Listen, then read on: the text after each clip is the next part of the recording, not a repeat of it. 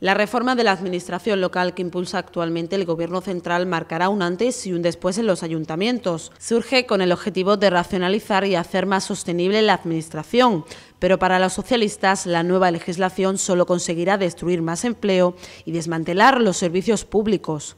Hay que resaltar el hecho de que en tan solo un año prácticamente van a desaparecer todos los servicios que en estos momentos se ofrecen, se prestan a través de la Delegación Municipal de Bienestar Social, entre otros el Gabinete Geriátrico Municipal.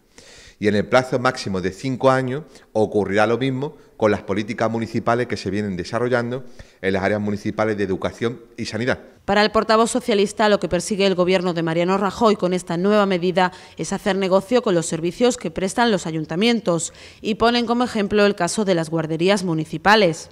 Además, en el caso de la política educativa, ocurrirán dos cosas. O desaparecen total y definitivamente las guarderías municipales o se tienen que privatizar.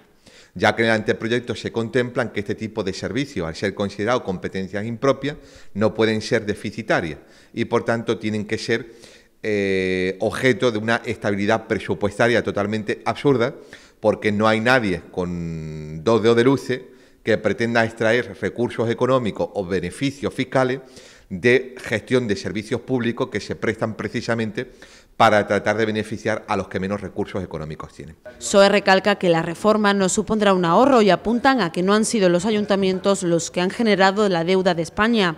Desde SOE se pide que se dé marcha atrás. Además denuncian que el Partido Popular pretende dar con estos cambios un golpe de muerte al pluralismo político.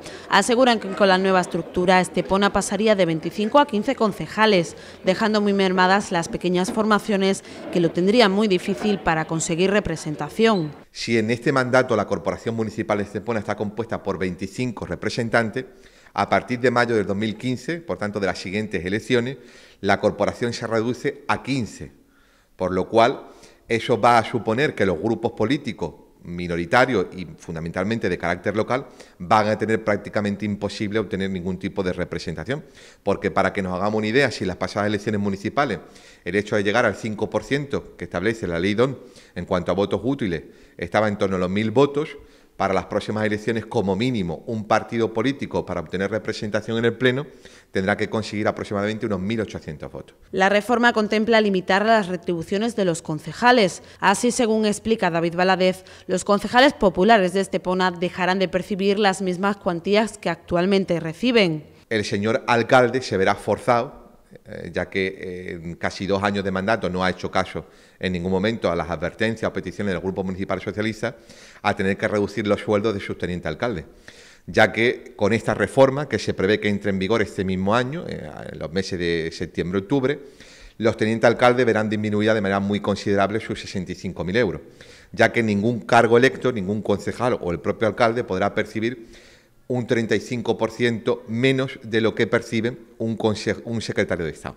Por último, García Urbano tendría que prescindir de dos de sus 14 cargos de confianza, según el anteproyecto de reforma aprobado por el Consejo de Ministros.